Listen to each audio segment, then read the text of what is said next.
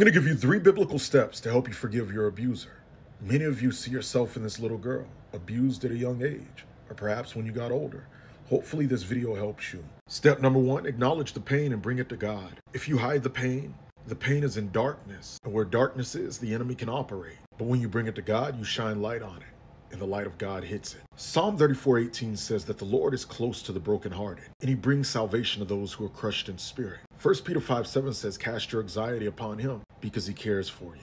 Number two, after you share this with God in prayer and ask him to heal you, you want to release the right to retaliation.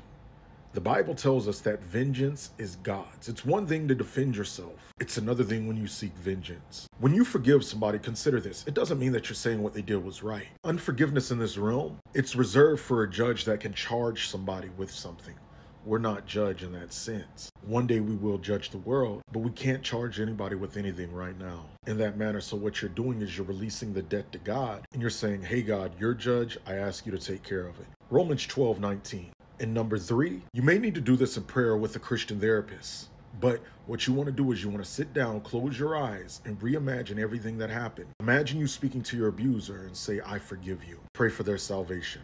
Hit follow for more. Deadlines in under two weeks. For those of you that want to learn more about defeating the spirit of gluttony, how exercise patterns the spiritual, and more, click the link in my story or bio to join this month's class. And if you're